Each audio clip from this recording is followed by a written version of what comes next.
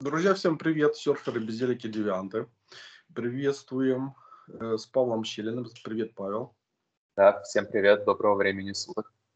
Да, многие ждали продолжения э, значит, нашей, наших бесед э, с Павлом по поводу гностических учений, как они э, вот, влияют на на современное положение дел связанное с зеленым переходом, который да. мы вот разбираем на протяжении последних уже почти полугода, наверное, может уже даже полгода. Да. Косвенно, да.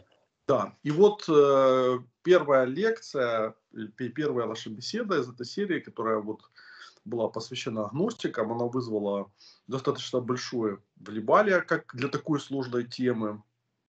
Ну и Павел тогда обещал, что мы продолжим.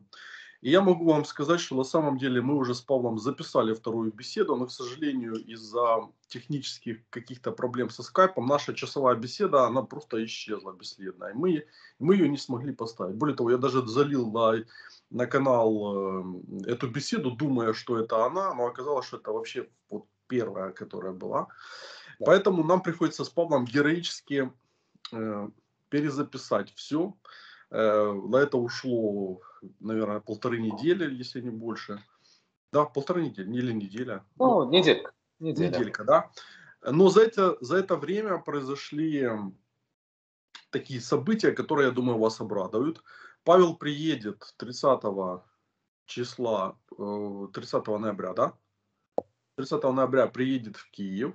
И мы сделаем несколько публичных мероприятий с его участием, и вы с ним сможете пообщаться вживую. Так что аллилуйя, как говорится. Да. Ну и, и давай, наверное, начнем. Итак, в прошлый раз мы касались, э, значит, гностиков э, касательно античной эпохи, да. Э, а теперь мы рассмотрим гностические учения эпохи Средневековья, как они развивались, во что они трансформировались. Ну и, собственно говоря, что там познавательного можно найти для нашего времени. Поехали. Ну, поехали. Я вот, собственно, хотел бы начать. Начну с того, что я просто э, заострю на том, что именно мы обсуждаем. Конечно, обсуждаем мы э, целое движение мысли. По сути говоря, это такой археологический проект э, по исследованию вот, корней феномена, который, используя понятие, разработанное Эриком Вагелином, я обозначаю как гностическое мышление. Я отдельно подчеркну, что в комментах были такие мнения, что не стоит уравнивать этот феномен с, собственно, сектой гностиков первых веков нашей эры, о которых э, шла речь, речь в предыдущей передаче. Гностические секты того периода – это лишь один из истоков той мыслительной реки гностического мышления. Есть друг, другие, не менее важные течения, э, создавшие этот феномен, о которых мы, в частности, будем говорить сегодня. И основной временной пункт э, сегодняшнего рассказа – это рубеж раннего нового времени. Это тот момент, когда на уровне идей были созданы те рамочные понятия, э, в которых Запад и отчасти весь мир, в той мере, в которой Запад доминирует над миром э, в конкретный момент истории, живет вплоть до сегодняшнего дня. И на самом деле последние 30 лет это не что иное, как своеобразный кризис этого идеологического проекта модерна, проекта, созданного в раннем новом времени – наблюдаемый в политической, экономической и социальных сферах. Но прежде чем оказаться в мире идей XVI века, мне потребуется сделать несколько остановок, которые позволят продемонстрировать тот сложный контекст исторического времени, в котором возникла наша цивилизация.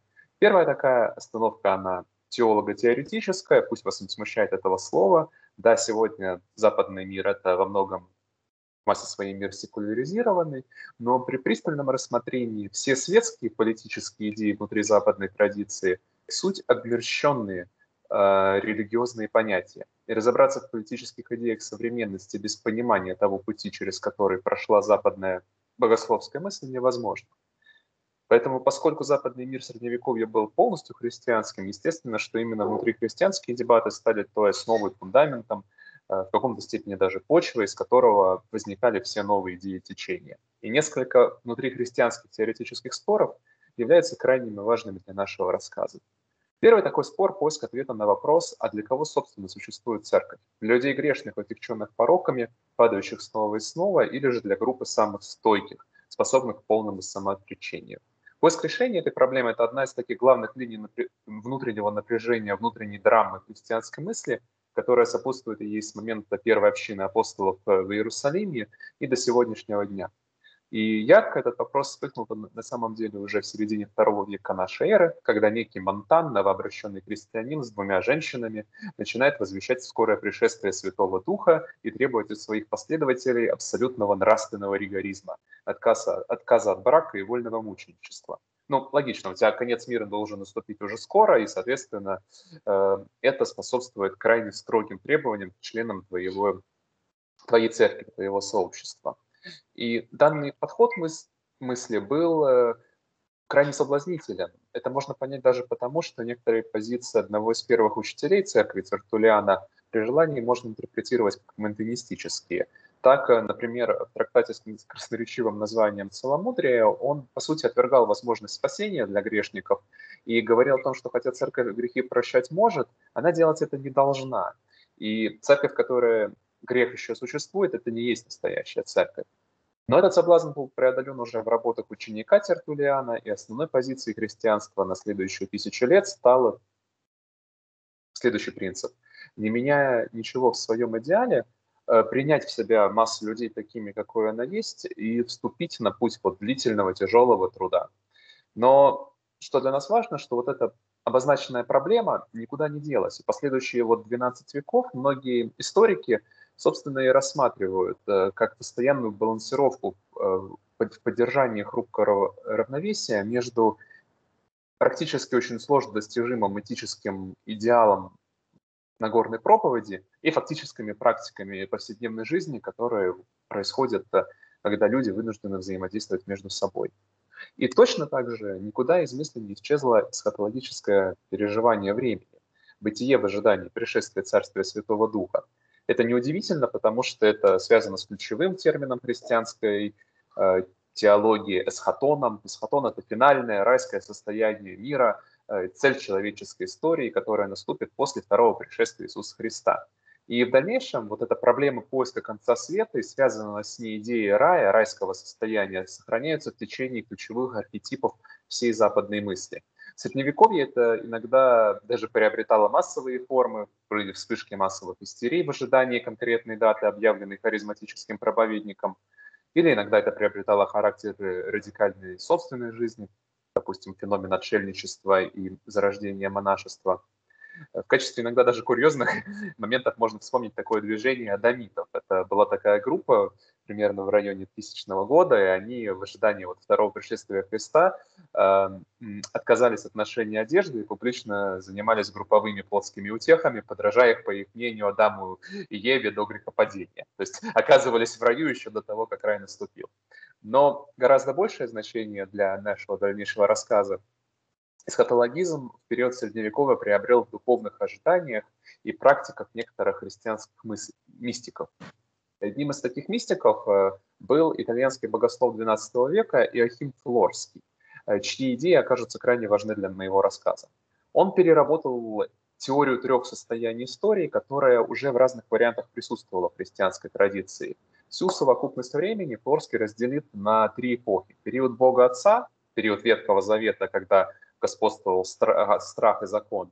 Э, период Святого Духа, время Иисуса Христа, то есть то время, в котором мы живем, это время, когда господствует мудрость и самодисциплина. И, наконец, следующий, третий этап истории по Флорскому – это период Царства Святого Духа, когда станет господствовать любовь э, и свобода. Этот мистик искренне надеялся на трансформацию всего, всего мира, всего, по крайней мере, христианского мира подобие такого огромного монашеского ордена, в котором все будут жить духовной содержательной жизнью. И его, если угодно, инновация в том, то, что в отличие от вот, древней ереси монтанизма, э, Флорский ожидал, что Царствие Святого Духа наступит не после апокалипсиса, а незадолго до него. То есть вот оно будет ему, оно будет ему предшествовать. Почти, вот как, это... у Марку... Почти как у Маркуза. Да, но только Марку... но Маркуза в конечном итоге его рай оказывается прямым наследником этой идеи. Не знаю, знает об этом Маркуза или нет, но вот э, мы видим то, что вот эта э, концепция деления истории на несколько вот таких ярких выраженных этапов, она становится одним из архетипов всей западной мысли, которую мы видим и в протестантском движении, и в просвещении, и в марксизме, и в позитивизме, и в неомарксизме, и в современной зеленой теологии. То есть это такое вот наследие древности, которое всегда при нас. Другими словами, концепция трехчастного деления истории, она становится спутником всех гностических движений. И здесь, конечно, ключевой вклад Флорского – это впервые, наверное, сформулированная надежда на возможность преображения вот не отдельной маленькой группы, а большого сообщества в райское состояние. То есть это очень большое духовное напряжение. И в таком духовном напряжении западный мир подходит к центральной временной точке моего рассказа, к концу Средневековья и началу нового времени, времени модерна. Говоря проще, он подходит к тому моменту, когда зарождается современная нам цивилизация. И здесь я хочу подчеркнуть, что вот эта современная цивилизация для нас естественно настолько, что мы не отдаем себе отчет, насколько она уникальна для человеческого опыта. Модерн и его принципы являются для нас тем, что Хайдегер называл в свое время преонтологией. Преонтология – это вот такие очки, при помощи которых ты смотришь на мир. Это самоочевидное здание, которое, э, при, которое настолько укорено в тебе, что ты даже не замечаешь о том, что ты эти очки носишь. Ты даже не знаешь, ты, ты даже не знаешь, что они на тебя надеты. И поэтому крайне сложно замечать, собственно, из чего они состоят. И вот, чтобы это продемонстрировать, я попробую э, показать структуру э, преонтологии модерна частично, но это возможно только на контрасте с тем, что было, а именно западной цивилизации высокого средневековья, что модерну предшествовало. Всю цивилизацию, разумеется, описать мне не получится, но вот некоторые основные элементы, которые удивительны для нашего сознания, а также те глубинные процессы мыслей и социальных практик, которые эти сказать, особенности обеспечивали, я все-таки попробую затронуть. И, во-первых, э, и первый такой момент, то, что цивилизация, предшествовавшая э, раннему нового времени, это цивилизация целого, а не частного. Если использовать метафору, это цивилизация музыкального ансамбля, а не механизма, созданного из отдельных частей. Это мы видим и на уровне философии, в идеях платонизма и схоластики. Это проявляется и в политико-социальных ожиданиях от человека и общества – Наконец, это проявляется и в совершенно потерянных для нас э, практиках. Например, сегодня для нас понимание индивидуальной личности как самостоятельного субъекта, автономного от окружающего мира, стало крайне естественным, стало тем самым онтологическим знанием. Но на самом деле такая личность – это сравнительно недавний феномен, окончательно даже в Западной Европе, оформившийся только в районе 17 века. Гораздо более естественным в историческом смысле, даже для западной мысли, и западной же культуры было восприятие человека одновременно и как, как уникальности, потому что душа каждого человека, она уникальна и неповторима, но и в то же время эта уникальность не оторвана от мира, а она с этим миром неразрывно связана. И неразрывно связана с окружающим миром и социумом. Условно говоря, ты был не просто Юрий Романенко, а ты был Юрий, сын такого-то отца, отец таких-то детей, муж такой-то жены, житель такого, э, прихожанин такого-то прихода, житель такого-то города, член такой-то гильдии. И все вот эти твои социальные роли, они были не каким-то, э, знаешь, вот э, апгрейдом э, твоей личности, а они были ее неразрывно с, с ней связаны. Они были неотделимы от твоей индивидуальности. Вот за мир высокого средневековья, вот мир вот таких людей – и это было крайне важно, потому что э, это устанавливало горизонт действия человека и горизонт его ответственности перед всем сообществом. Как сказано ранее, на протяжении всего тысячелетия, э, на всего примерно 50 веков сохраняется напряжение между идеалами э, Иисуса Христа, провозглашенным им, и де-фактом состоянием мира. И поскольку общество мыслилось собой, между собой как такой огромный связанный оркестр, то сбой в его ритме мог иметь негативные последствия для всей группы. Особенно в контексте того, то, что люди жили в заколдованном мире по терминологии Макса Вебера. То есть духовные силы, источники благодати, ангелы, демоны, духи, черты, они были не где-то далеко, но одновременно далеко и близко. Uh, у них была своя иерархия, и человек с этой иерархией на самом деле активно взаимодействовал. Другими словами, сама идея времени и пространства была не линейным, а пористым. И э, пористым и многоплановым. Э, я извиняюсь за свое косноязычие, если непонятно. Отошлю к одной культурной работе современного автора Евгения Водолазкина «Лавр». Это современный романист. И вот там он, это, э, действие происходит как раз в Средневековье, и я очень рекомендую слушателям прочитать эту книгу, чтобы вот на собственном культурном опыте ощутить вот эту инаковость восприятия времени, пространства личности, которым жило и дышало умы, мышление и умы людей того, того периода. И почему это важно? Потому что следствием такого взгляда на мир было ощущение того, что твой личный грех мог повлиять на все общество, мог стать причиной коллективного несчастья. Он, это была не прямая такая причинно-следственная связь, но всегда сохранялась э, такая ответственность. И поэтому на человека возлагалась крайне большая ответственность, э, которую нести без перерыва было крайне тяжело. И поэтому... Павел, Павел, Павел, подожди, я еще добавлю.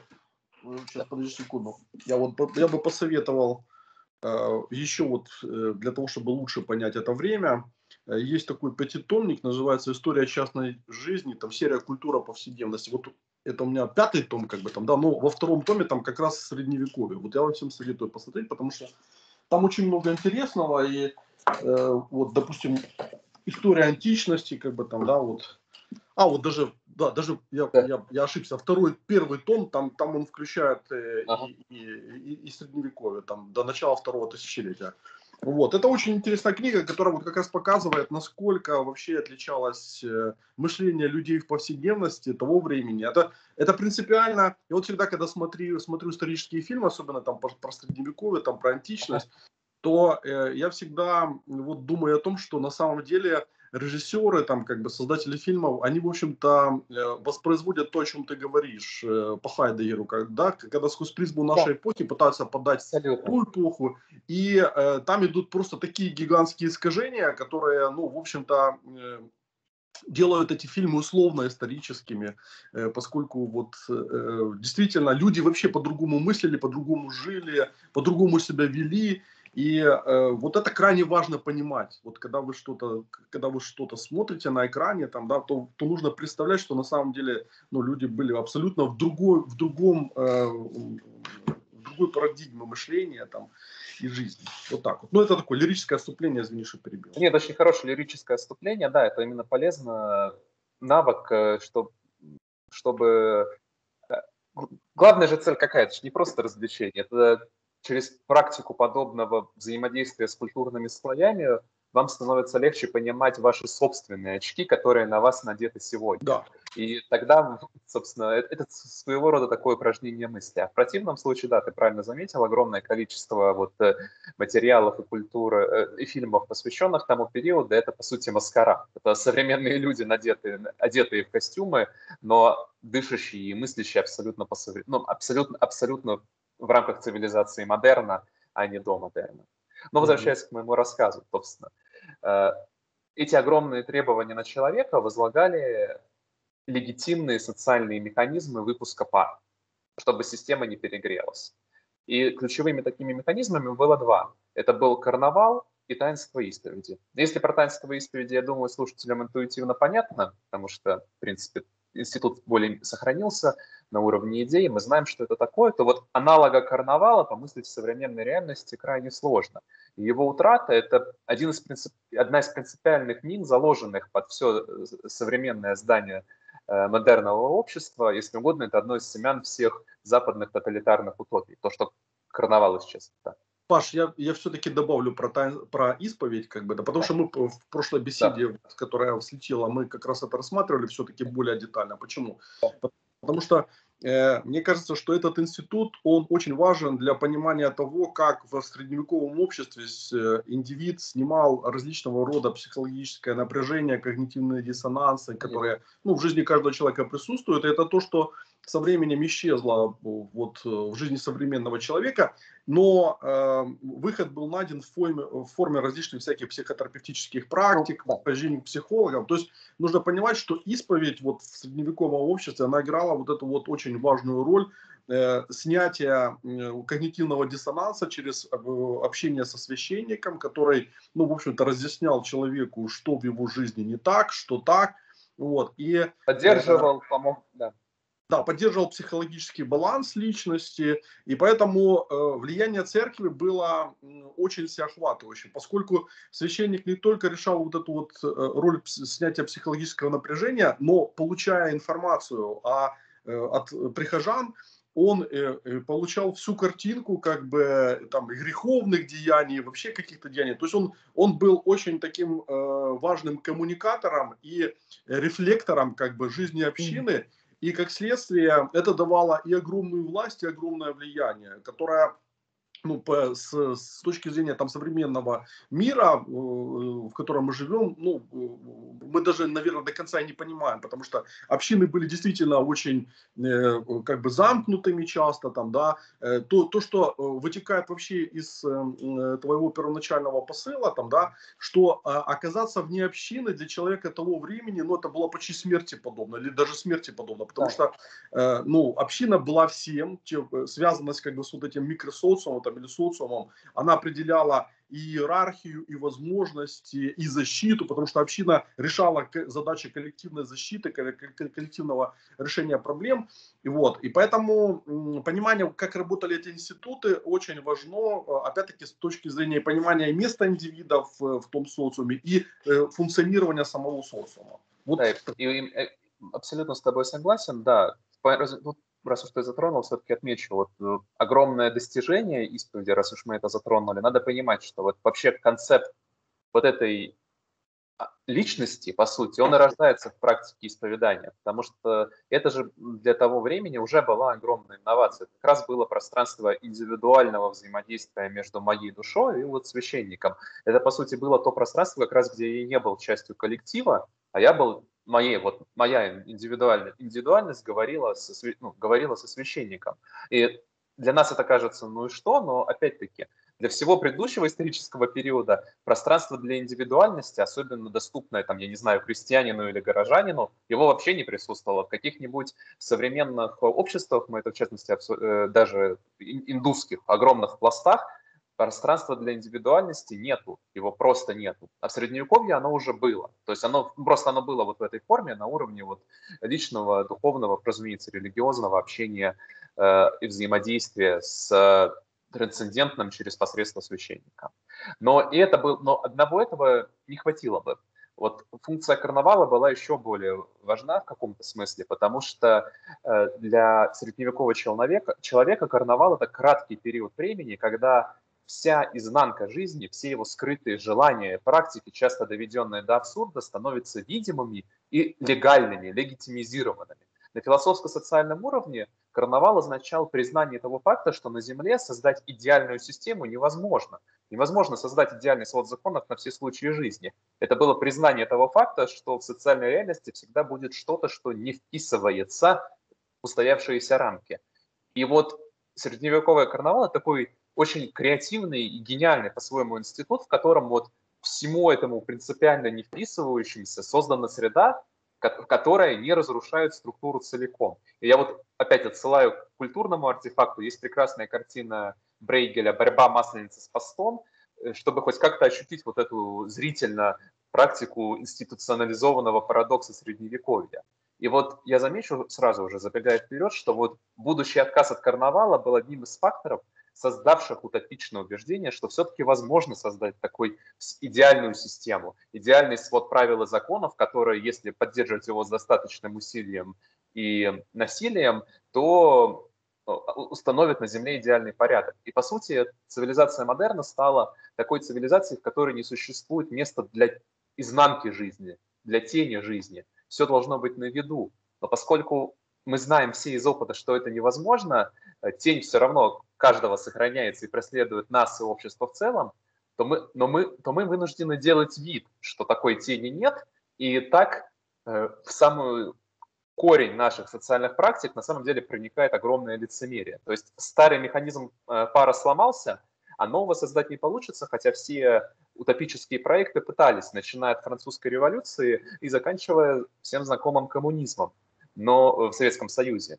Но почему этого не получалось? Потому что средневековое общество было достаточно смелым, чтобы в карнавале смеяться и высмеивать самих себя, над сами собой. А вот во всех последующих модерновых проектах всегда превращалась в карикатуру жизнь не твоя собственная, не такая, какая она есть, а либо жизнь старого предшествующего мрачного строя, либо твоего идеологического противника за границей. Тем самым вся функция карнавала, ну, тем самым вот свою социально-структурную задачу эти эрзац-карнавалы выполнить никак не могли. Ну, совсем, чтобы было, вот, наверное, образно понятно, приведу пример.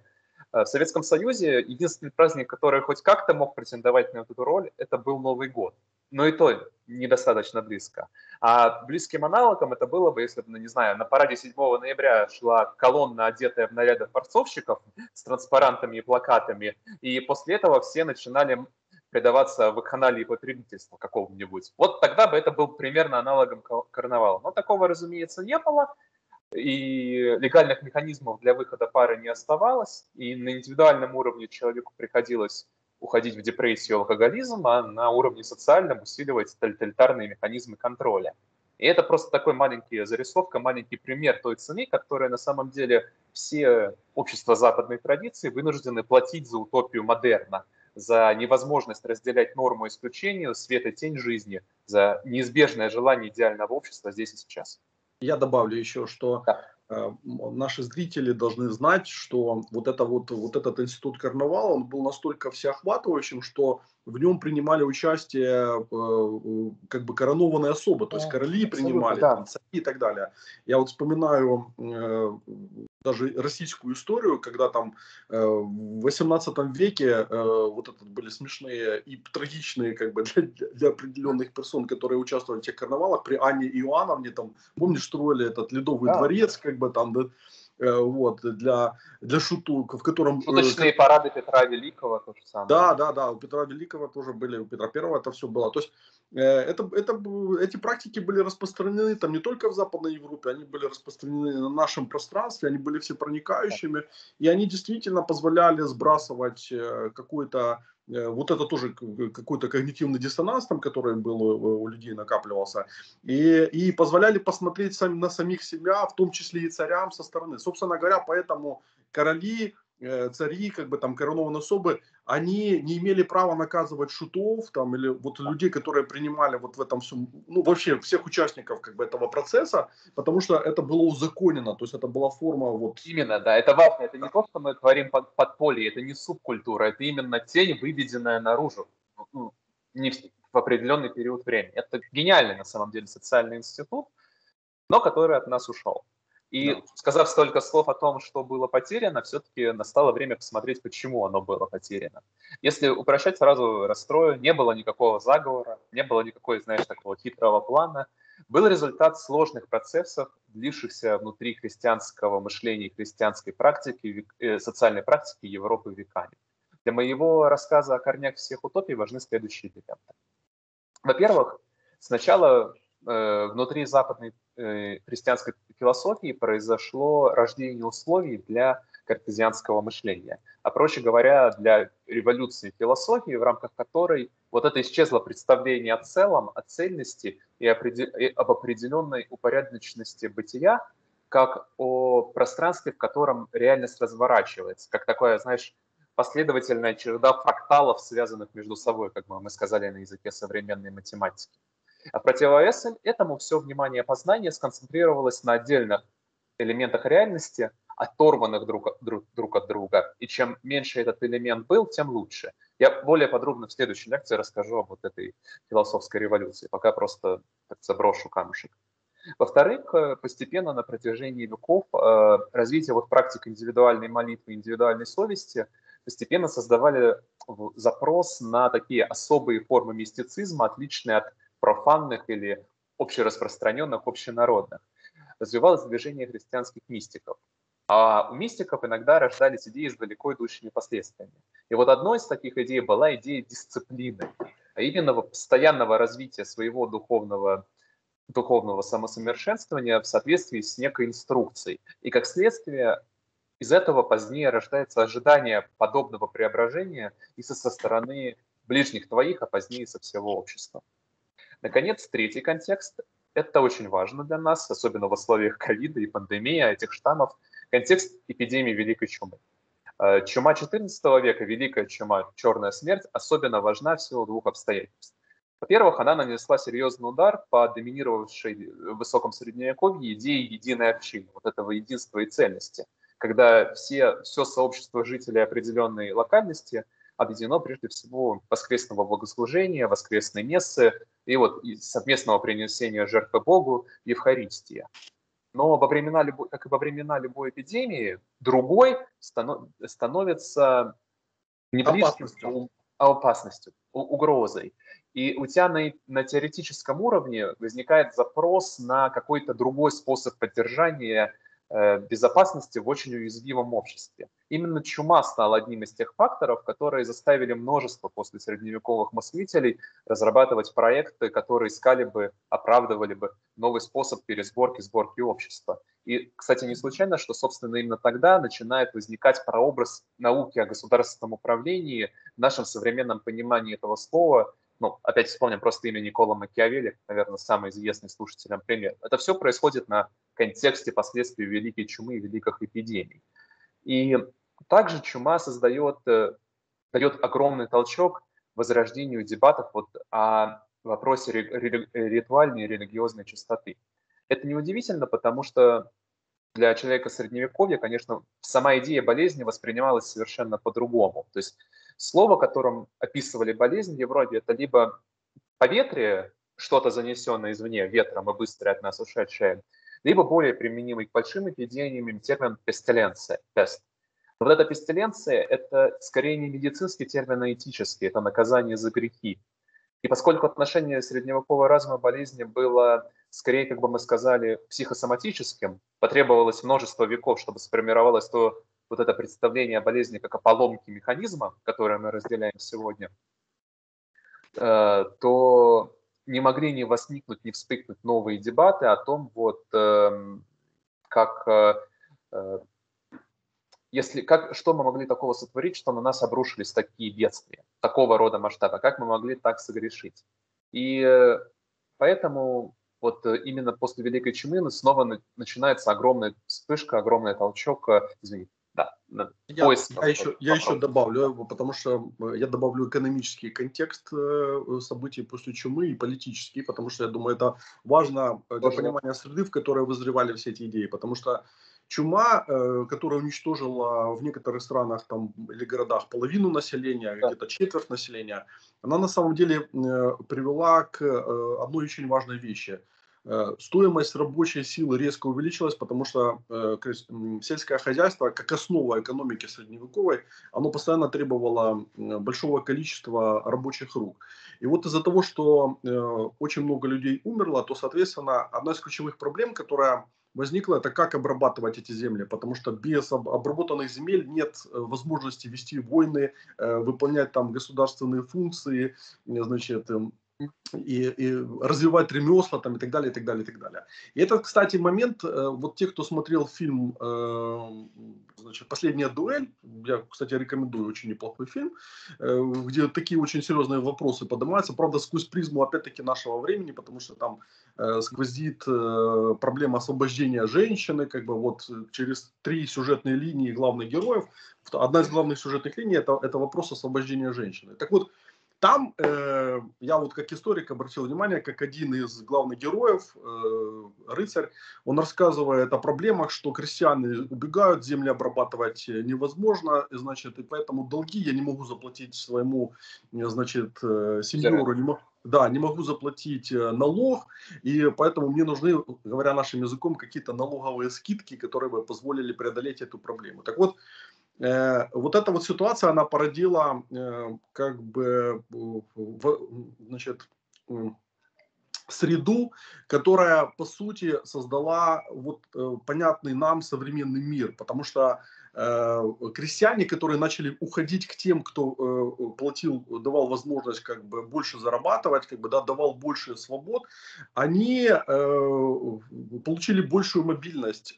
И как следствие начал подниматься и актуализироваться вопрос вообще свободы, ну как бы вот личности. Имеет ли, условно говоря, там, тварь дрожащая или право имею в, в Юрьев день, говоря нашим языком, переместиться вот в другую локацию. И чума, по сути, сути, способствовало тому, что э, западный человек, он начал раскрепощаться.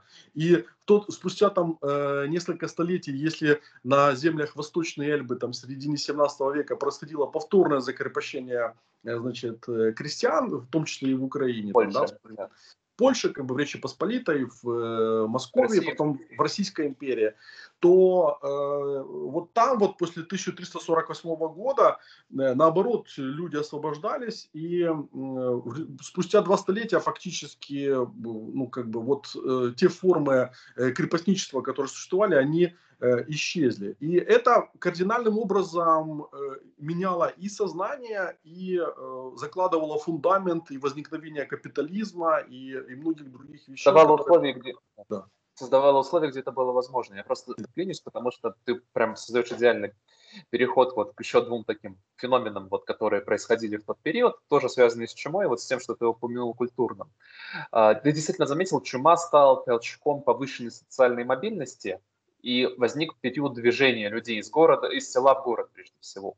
А такое движение создало, усилило, по крайней мере, среди многих, оторванность от прежних социальных структур, создало неуверенность в самих себе, в основах своего этического сосуществования.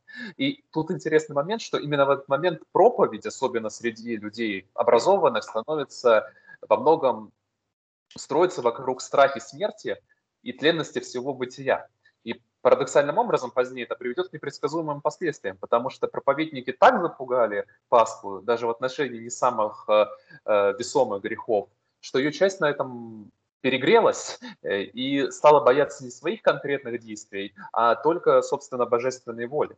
И, и, и тем самым идеальная, идеальный момент для возникновения реформации. Вот для знаменитого тезиса Лютера, что кто боится ада, бежит в него что человек может освободиться только э, полностью отдаться, отдавшись милости Божией и спастись через веру. Так э, чума, по сути говоря, закладывала, э, была одним из факторов, сыгравшего решающую роль в возникновении реформации.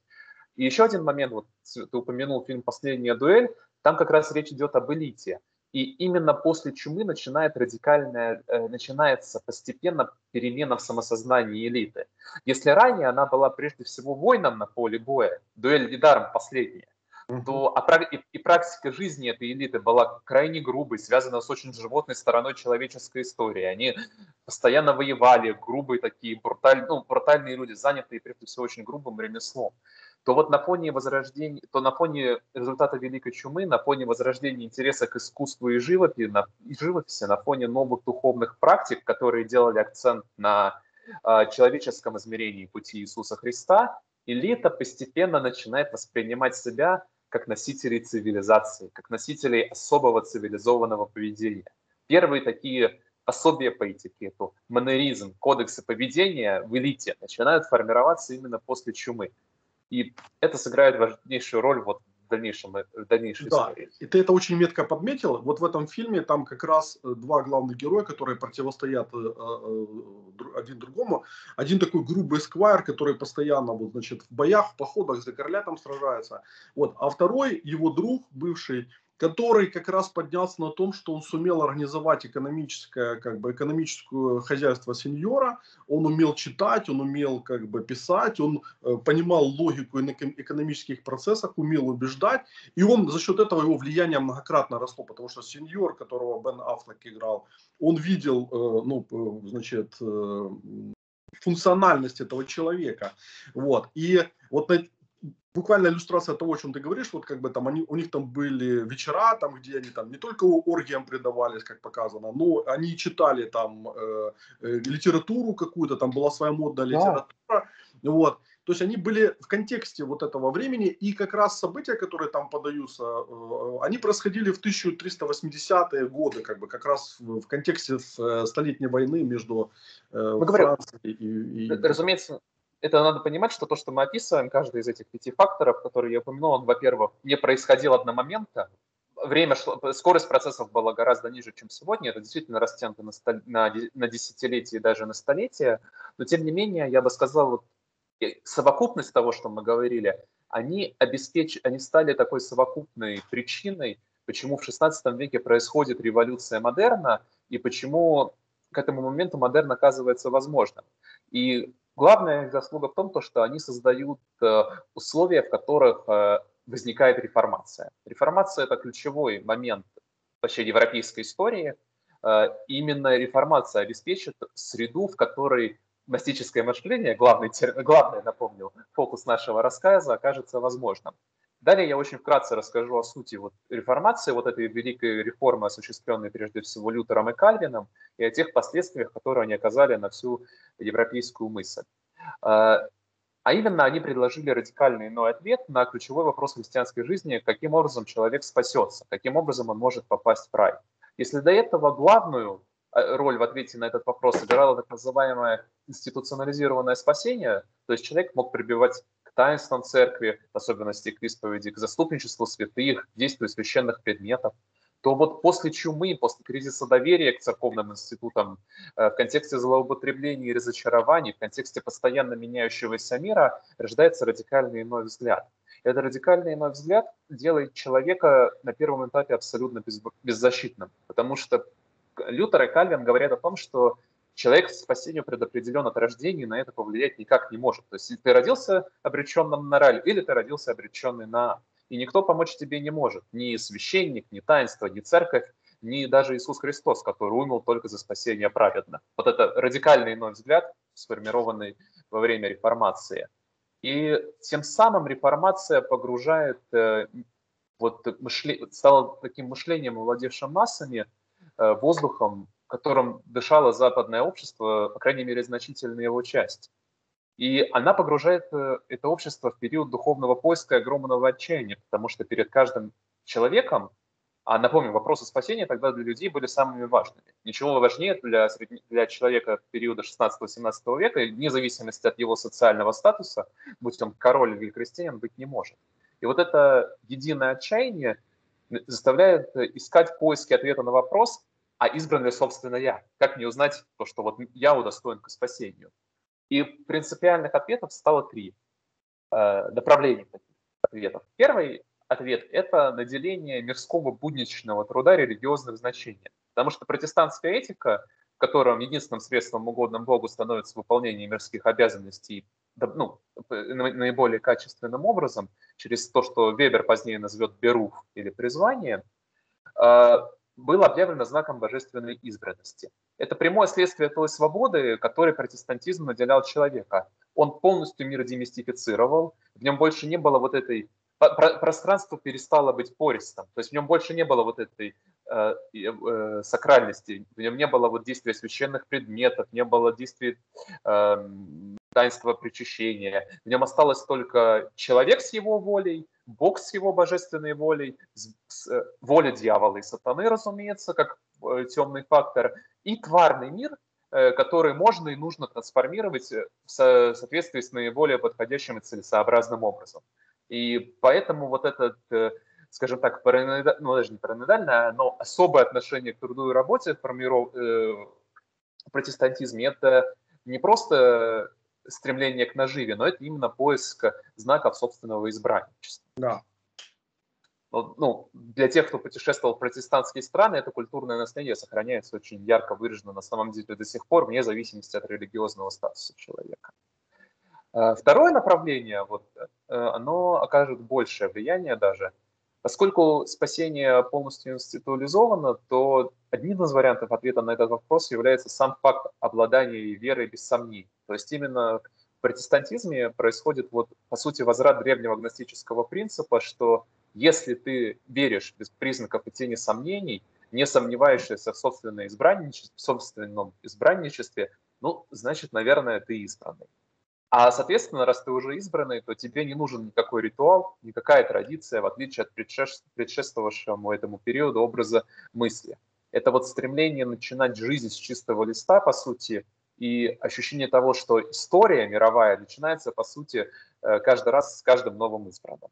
И вот это ощущение человека как автора, несмотря на то, что он, вот это, несмотря одновременно на вот эту предопределенность, именно в протестантизме э, вот это ощущение разрыва между прошлым временем и временем будущим становится крайне ощутимо в практике жизни. Вот из, той, из того мира ценности, мира оркестра возникает вот это мир разорванный, мир состоящих из, из индивидуальных воль. И еще, и, еще, да. еще не менее важно, что церковь, э, вот в, ну, в том понимании, в котором она была, она э, устраняется как посредник, потому что Абсолютно, да. Отношения между человеком и Богом, они ну, очень упрощаются. А, и это дало огромный толчок к развитию письменности, потому что как раз начиналась революция, началась революция Гутенберга в 1450 году, да, и вот как раз э, ко времени, когда эм, э, Лютер начал свою бурную деятельность, то э, уже на руках была технология, которая позволяла быстро транслировать мысли, а для того, чтобы э, понимание упрощалось, то э, ушли от латыни на национальные языки. Это, это, это дало как бы огромный толчок э, к развитию национальной письменности, национальных языков. Э, собственно говоря, начали кристаллизироваться первые как бы предпосылки для формирования наций. Уже, Позднее национализм. Да. да, и национализма через несколько столетий. Да. И, собственно, это очень связано, потому что третье направление, ключевое для нас, для всего нашего рассказа, то, что связано с психологическим феноменом. Конечно, приятно быть э, избранным э, индивидуально. Но на практике для человека было важно принадлежать группе, предопределенной к спасению. И вот это возрождение поисков знака избранничества группы – это главное наследие протестантской революции, я бы сказал, для всей западной мысли. Поскольку христианская община в протестантском варианте снова стала сектой избранных, чей мир, мирской успех – это знак Божьей благодати, то если, если среди ее членов грешник еще затесаться мог, то вот ее элита, пастор и лучшие люди города просто обязаны быть видимо святыми и своей жизнью подтверждать этот статус. Они-то и должны собой являть вот этот образ добродетели, э, который подтверждает их избранничество. И это поразительно хорошо легло на те вот предпосылки в самовосприятии элиты, о которых я говорил до этого. Представление о самих себе как о носителях цивилизации, противостоящей какой-то грубой природе. И здесь происходит просто тончайший психологический механизм, который я зачитаю сейчас цитату из историка Чарльза Тейлора. Она, мне кажется, очень ценная для понимания вот всей э, внутренней логики всей европейской истории. Что происходит э, с элитой в таком обществе? У нас растет чувство, что все схвачено и все под контролем. Разумеется, поначалу мы сохраняем глубокую веру, что спасение возможно только через божественную благодать и не зависит напрямую от наших усилий. Но де-факто в нас постепенно растет уверенность, что именно мы и такие люди, как мы, успешные люди с хорошими манерами и добродетельным образом жизни в нашем правильно организованном обществе или социальной среде являемся главным объектом Божьей благодати, противовес этим падшим, грубым, неорганизованным массам, слоям, попистам или кому-нибудь еще. Крайне сложно избавиться от чувства, что от чувства этой уверенности, пока нам удается поддерживать социальный порядок. Более того, хотя в теории мы по-прежнему убеждены, что большая часть обречена на адские муки, что спасется только меньшинство счастливчиков, на практике мы уверены в том, что именно мы принадлежим к этому меньшинству, что в целом история и мир вокруг нас идут именно таким образом, как они и должны. И со временем утверждение, что мы беспомощные грешники, становится ритуальной проформой, в которую мы де-факто уже не верим. Я сразу отмечу, конец цитаты, я сразу отмечу, что вот этот менталитет секты избранных среди элиты, он в странах протестантской культуры не делся абсолютно никуда. Современные выпускники элитных колледжей США или Великобритании, занимающие топ-позиции в СМИ, правительстве, образовании бизнесе, не меньше пуритан 17 века ценят труд, работу, личный успех и прикладные издания. И точно так же, как и древние предшественники, эта элита страдает от тревоги по поводу избранности. Единственное отличие просто, если раньше этим источником этой избранности был Бог, а, то теперь это мнение просвещенной общественности, вырождаемое в статусах в соцсетях. Вот и стремятся все эти топ-менеджеры, политики, журналисты на переконке доказать, что именно они-то по-настоящему и любят главный объект новой религии, каким бы он ни был на текущее состояние. То есть корни вот этого страха перед культурной отменой, которые могут ставить в тупик современного зрителя, они кроются именно тогда. И вот просто забегая вперед, делаю этот важный комментарий. Сейчас я выделю пять последствий протестантской, реформ... э, протестантской реформации, поиска знака избранничества, которые создают модерн. Вот казалось бы, какая связь между вот этими христианскими дебатами и модернами? Их пять. Во-первых, создается убеждение, что великая реформа должна не сколько произрастать снизу общества, сколько быть осуществлена группой активистов сверху вниз, невзирая на сопротивление материала. Опять-таки, история пространства и социальных экспериментов были отдельные группы, которые пытались создать колонии сообщества, составленное исключительно из святых, они впоследствии будут колонизировать США. Но мейнстрим, Кальвин, Лютер не одобряли этой позиции. Мейнстримом было представление, что вот преображение общества будет осуществлено группой godly men, задача которых направить все общество на путь истинный. И опять-таки это было не без предпосылок, уже на фоне вот этого, то, что мы обсуждали, после Великой Чумы на протяжении нескольких веков усложнялась политическая структура общества, прежде всего в итальянских городах государств, растет количество мыслей, экспериментов по новым способам управления государством. Но я бы сказал, вот качественно, тогда это был один из возможных вариантов. Реформация делает это мейнстримом. Реформация делает это основным направлением вот э, самоощущения. Э, потому что следствие доведения тайны спасения до такого предела, реформация перестала эту тайну, лишила эту тайну таинственности и сделала вопросом грамотного управления и изменила менталитет элиты. Теперь ее задача была облагораживать и совершенствовать все общество в определенный порядок в соответствии с определенным моральным законом. И как следствие, э, второе этой реформы, вот это наследие, создавшее модерн, э, ощущение того, что твой моральный проект государственного управления не должен обращать внимание на неоднородность объекта реформы, на все то, что не вписывается в план. Именно здесь происходит отход от, от старой культуры карнавала и начинается борьба с ним. Именно в протестантских странах карнавал просто ну, прям, прям подвергался прямому запрету. Тут опять сложная внутренняя психологическая драма элиты.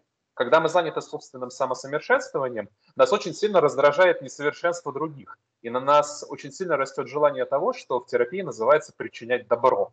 И в контексте средневековья это желание причинять добро неизбежно происходит одновременно в религиозном и в гражданско-управленческом смысле. То есть плоды духовного преобразования должны были способствовать установлению социальной гармонии наоборот. Такие эксперименты проводятся по всей Европе, как в протестантских, так и в католических странах, как в Кальвине, как Кальвином в Женеве, так и в Милане Чарльзом Барамеа. Но основная идея возникает, что правильно управляемое общество и общество, состоящее из добродетельных э, индивидов, неразрывно связаны между собой. И отсюда происходит вот это параноидальное стремление к чистоте, к очищению общин от всего грязного. Что, кстати, прекрасно ложилось, как ты понимаешь, на контекст эпидемии сифилиса, оспы, чумы и прочего. Именно здесь происходит стигматизация секса, происходит стигматизация проституции, начинается пик охоты на ведьм колдунов – для тех, кто не знает, вот это ужасы Инквизиции – это именно сказка, придуманная просветителями, а по объективным данным, вот пик общественной одержимости борьбы с колдовством, пришелся именно на раннее новое время, на э, конец 16-го, э, начало 18 веков. И центрами этой охоты были именно ведущие регионы и протестантские страны. Швейцария, Шотландия, Англия, Нидерланды, скандинавские страны, протестантские части Германии и Франции. Э, произошло это по многим причинам во-первых, произошел отказ от почитания культа Девы Марии, как сдержки женоненавистничества. Протестанты радикально пересмотрели роль, ну не радикально, они, они действительно начали читать Библию и обращали внимание прежде всего на вину Евы за то, что вот все люди оказались в этой состоянии духовного отчаяния. Но и другой момент вот интересный. Ты упомянул революцию Гутенберга. Очень э, произошел феномен, очень похож на современность. А именно парадоксальным образом рост грамотности, рост формального образования открыл двери, открыл двери для процветания желтой прессы, э, распространявшейся, начавшей невид, с невиданной скоростью. И вот на фоне войн, эпидемии, сифилиса, оспы, голода, падения урожаев э, все вот эти антиведовские книги и памфлеты, в которых в красках описывались э, связи э, ведьм с демонами, инструкция по этим ведьм выявлению, способствовала тому, что вчерашние крестьяне, которые читать научились, но воспринимать текст критически не научились, с энтузиазмом принялись применять полученные знания на практике и строчить доносы. То есть, знаешь, такая изнанка, изнанка грамотности и образования. Да, читать, а читать нужно объяснить, что читать начали, потому что, э, ну, как бы протестантская, протестантской культуре да. э, ты должен э, сам, как бы, э, получать знания там из Библии, ты имел это полное право, священник как э, посредник, он исчезал, по сути, да. пас, по, пастор э, протестантский, он был, ну, условно говоря, примус Социальный работник. Ну, да, такой социальный, первый среди равных, почитаемый человек, там, э, но да. Э, каждый получал возможность вот, э, э, приобщиться к чтению Библии, интерпретировать ее, и, соответственно, это порождало огромное количество вот этих вот интерпретаций, конкуренцию между интерпретаторами, как бы там, да, но по ходу это раскрывало пространство для книгопечатывания и опыление все большего и большего количества людей различными идеями, потому что как только люди выходили за пределы интереса Библии, то они вдруг понимали, что ну, есть масса других интересных вещей, тем более, что это как раз было на фоне на фоне последствий великих географических открытий, когда европейские страны интенсивно Э, проводили экспансию в мир, и э, необходимо было э, описывать то, с чем ты встречался, как бы расцвела, расцветали мемуары, различного рода путевые заветы. Ой, нет, именно, я поэтому сказал, рождается, рождается вся пресса, но просто тут сложный момент, это происходит так быстро, что сознание человека не успевает выработать навыки критического восприятия сложного текста, сложной информации. И на практике очень часто происходит те, происходили те эксцессы, на которые теперь вот, которые мы теперь воспринимаем как эксцессы вот этого страшного темных веков. Вот Паш, на самом здесь, деле... здесь, здесь есть еще один важный момент для нашего времени, потому что то, что происходило тогда, э, с вот этой вот экспансией технологий Гутенберга и э, рассветом э, э, вот этих памфлетов, как бы и вообще способностей человека как бы коммуницировать, оно очень напоминает то, что происходит сегодня в связи с развитием социальных сетей, потому что книга в тот момент, как бы книгопечатание, он, ну, они, оно по сути выполняло ту функцию, которую сегодня стали выполнять э, социальные сети, когда упростилась коммуникация, когда ты сможешь доносить как бы свои мысли вот прямо напрямую, как бы там, да, и, э, и, и с этим связан другой феномен, когда люди, которые получили вот эти все технологии сегодня, они э, не подготовлены к этому, и отсюда возникают как бы все вот эти вот э, феномены там хейтерства, как бы, да, вот да, да, да, да, да. буллинга, как бы виртуально, который влечет за собой очень серьезные последствия, вот, и э, дезорганизации сознание, ну, как бы сознания, да, массового, индивидуального, потому что мир рассыпается, как бы по, человек со всех сторон атакуется огромным количеством информационных сообщений, выбор безграничен, по сути, вот, а э, культура и, мышления... как правило, он выбирает самое простое, как и тогда. Да. Человек выбирает самую примитивную, простую интерпретацию. Он читает не комментарии к Библии, там, Аристотеля, а он читает написанный крупным шрифтом листок, который описывает, как найти э, ведьму среди соседей, условно. Да. Но вот в наши дни действительно в силу развития технологий процесс довольно мягче. Мы просто ищем и хейтим в социальных сетях или ищем своих а, а, нечистых. Кстати, кстати поэтому очень классно подвел. Кстати, с этим связано как бы э, вот расширение магического в современной культуре, когда вот после столетия как бы там вот этой рационализации жизни, там да, мы сейчас видим такой откат, вот, возврат вот к, к прошлым векам. И, и... Потому что это наша основа, это основа, на самом деле это, это основа мышления, которая заложена была тогда она никуда не делась. Это базовый архетип. Я поэтому так подробно про это и говорю. Да. Это, и этот архетип возвращается. Равно как и возвращается вот другой архетип, созданный тогда, ощущение того, что твое государственное управление, твоя реформа должна налагать одинаковые моральные стандарты на всех граждан. Причем эти требования склонны максимизироваться, абсолютизироваться и не учитывать э, сложности реальной жизни. Именно тогда, в реформации, мы видим радикальную перемену отношения к греху к тому-то, что что-то способствует нашей жизни, с чем мы боремся э, постоянно внутри себя, а как чего-то нечто исключительного и требующего искоренения на корню здесь и сейчас. Такой юношеский максимализм, возведенный в религиозно-политический принцип. Именно в этот момент начинают зарождаться программы по более массовому образованию, будущему фундаменту дисциплинарного общества, чтобы вымуштровать население. И одновременно возникают самые жестокие законы по отношению к бродягам и бездомным потому что происходит перемена отношений к бедности. Если в Средневековье у нее был даже какой-то ореол святости, и на уровне хотя бы идеала декларировалась необходимость милосердия к бедным людям, бед, помочь бедному человеку означало помочь Иисусу Христу, то вот начиная с конца 15-го, начала 16 веков, и особенно в 17 веке, при сохранении слова милосердие меняется содержание. Теперь милосердие к бедному или греховному, по сути, означает э, его модернизацию, технический апгрейд а бедность становится спутником и знаком личного греха, который нужно выкачивать с корнем например, отправить в работный дом этого несчастного бедного или его ребенка. И вот те страшные строчки из романов Диккенса о работных домах XIX века, которые пугали читателей в детстве, это вот прямое наследие реформации. А причина такого стремления, это, сейчас я договорю буквально, причина такого стремления была страхом, потому что у тебя должно все общество быть очищенным от грехов и пороков несправедливости, как на индивидуальном, так и на социальном уровне. Эта задача, как мы понимаем, она абсолютно невыполнимая, но именно этот архетип попадает в мышление западной элиты вот на все последующие столетия. И нужно, и нужно сказать, что он сыграл важнейшую роль как бы в развитии капиталистических отношений в Западной Европе, потому что как раз вот эти все э, процессы огораживания, сгона как бы крестьян, жесткие, э, ну, земель как бы, для того, чтобы развивать крупнотоварное производство, там, Э, шерсти, да, для, для, для овец нужны были большие пастбища. Вот, вот это вот, это все вот ложилось вот в эту вот логику. И ты там назвал Диккенса, а я вспомнил статистику э, конца э, 18-го, начала 19 века, когда Великобритания, из Великобритании массово ссылали как бы на каторгу. Огромное количество людей там в Австралию, в Новую Зеландию, там в, э, в Канаду, там, короче, на какие-то далекие территории.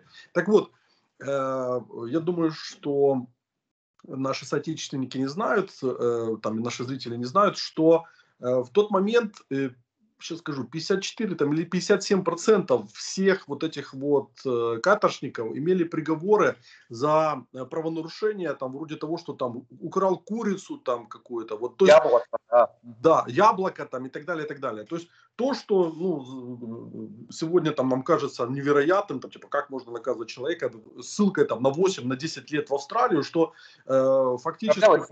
Ну, по сути. Да, в тот момент это обозначало, означало, что человек фактически пожизненно туда уезжает. Причем нужно понимать, что ссылка туда это было смертельно опасное как бы путешествие, потому вот что... мог и не доехать. Да, он, он мог не доехать, он э, сталкивался там с болезнями, ну, короче говоря, с, э, с, с массой проблем. Э, но вот корни дисциплины, которая э, многих восхищает там у нас там, в Европе там, э, и вообще на Западе, она лежит вот, вот в этой логике, потому что люди не понимают, наши люди, они не понимают, что за э, вот, вот этой вот прекрасной жизнью в Европе там, там в последние несколько десятилетий, там, потому что нужно понимать, что еще там 100, 120 лет назад... Множество, да. Да, там, там далеко жизнь была не сахар. Вот то вот стоит вот эта вот логика, очень жесткая, которую там Фуко в том числе описал. Да, э, вот Фуко да. будет это, вот заниматься археологией этого, как рождается вот эта дисциплина, вот это, потому что меняется представление о святости еще, то есть если раньше святой это святость была, условно говоря, внутри тебя, то есть ты, святость никто не стремился выдвигать наружу. В католической традиции, как в православной традиции, наоборот, те люди, которых публика считала святыми, как правило, потом от этой публики бегали, убегали, уходили куда подальше, чтобы не прославиться, то вот именно в протестанстве, ну, в силу нового понимания исключительности, святость стала по, по большей части публичным проектом. Ты должен вести внешне добродетельную жизнь, должен внешне соблюдать стандарты. Особенно вот этот жесткий кодекс дисциплинированного поведения, не проявление чувства и эмоций, безэмоциональность, э, трудолюбие, дисциплина, сдержанность, такая постоянная ментальная тюрьма. Она и одновременно, кстати, та фетишизация труда, вот такой труда, как вот именно жесткой экономической дисциплинированной деятельности, которую позднее будет критиковать Маркс, и она его будет пугать, она возникает все именно тогда. Угу. Но это еще не все. Возникает еще два важных элемента. Осталось чуть-чуть. Э, первое – это то, что ощущение того, что двигателем этой реформы должно быть некое определяющее знание.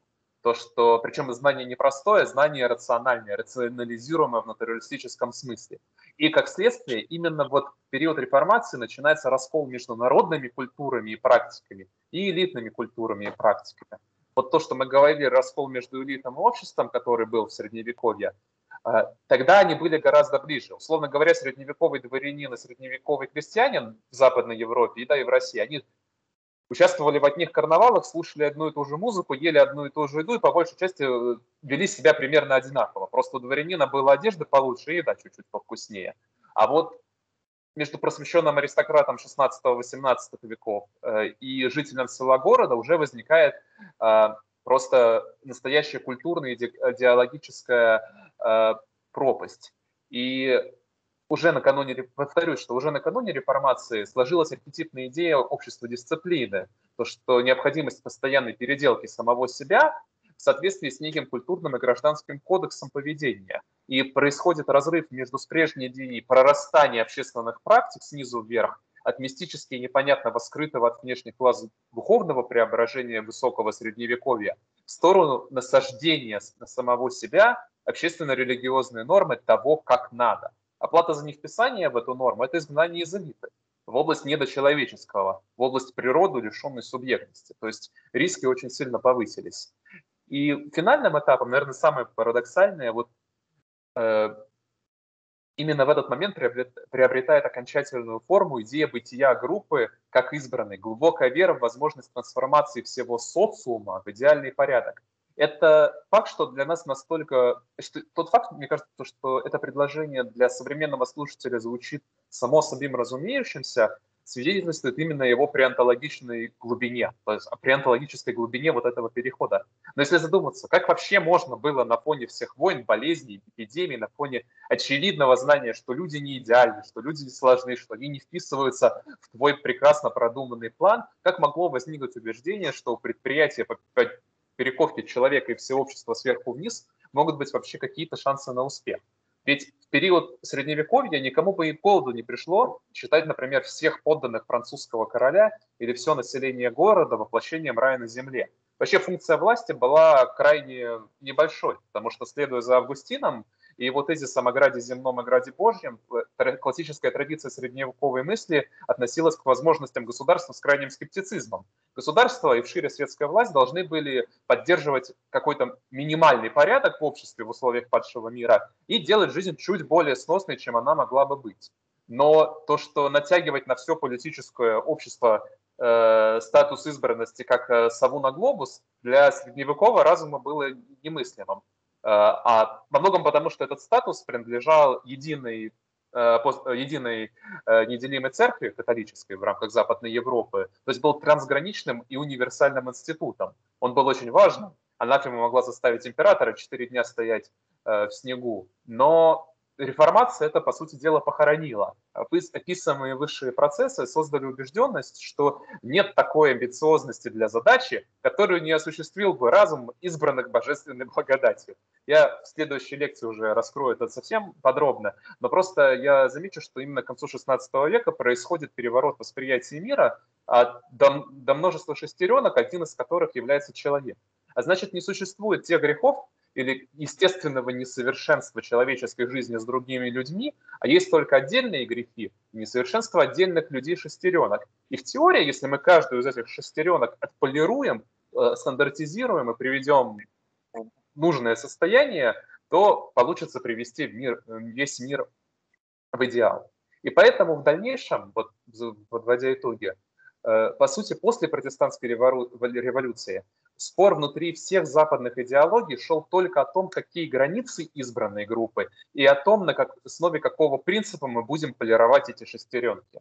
Да, в 16-17 веке это были маленькие общины для избранности, но оставался для мысли крайне небольшой шаг, чтобы э, объявить группу избранных, скажем, нацию, как это произошло во время французской революции, или класс, пролетариат, как у Маркса, или гендер, или там угнетенного по какому-то тому или иному признаку, как это происходит в современной интерсекциональности и критической теории. Фундаментально это все одно и то же.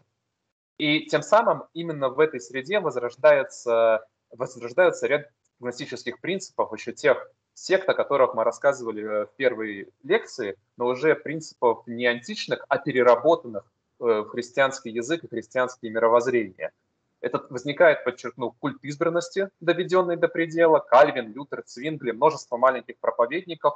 Э, каждый из них объявляли именно себя группой совершенных. Э, Причем внутри этой группы есть еще более группа совершенных.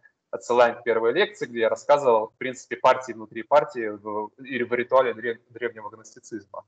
И возникает идея, то, что все можно начать с чистого листа. Можно обнулить весь предыдущий опыт, всю предыдущую историю как что-то греховное – чтобы на ее месте построить, собственно, полноценный новый божественный порядок.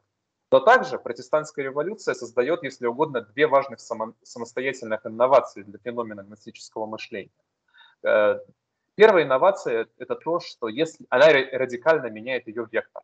Если гностики-то не собирались мир преобразовывать, они из этого мира хотели сбежать, то сочетание монтанизма, идея Хима Флорского, собственного опыта протестантской жизни вот этого раннего нового времени создали представление, что э, политическое сообщество должно быть сообществом совершенных. Э, фундаментальный христианский вопрос, что мы обсуждали в начале лекции, церковь она для кого, в протестантской версии получает однозначный ответ. И, соответственно, задача этих активистов вектор их работы – это преобразовывать мир, не бежать из него, а, а, а трансформировать его в рай здесь и сейчас. И так возникает вот эта вторая фундаментальная инновация, идея имманитизации схотона, преобразование человеческого сообщества здесь и сейчас, подобие рая на, рая на земле. Критерии рая могут разниться, но теперь все утопические идеологии внутри западной традиции будут такую утопию так или иначе пытаться создавать.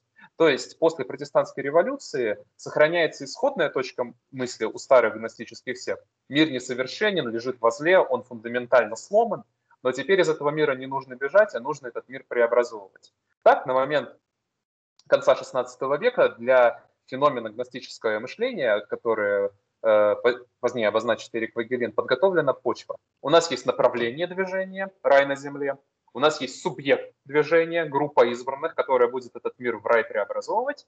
И остается критически нерассмотренным один важный вопрос.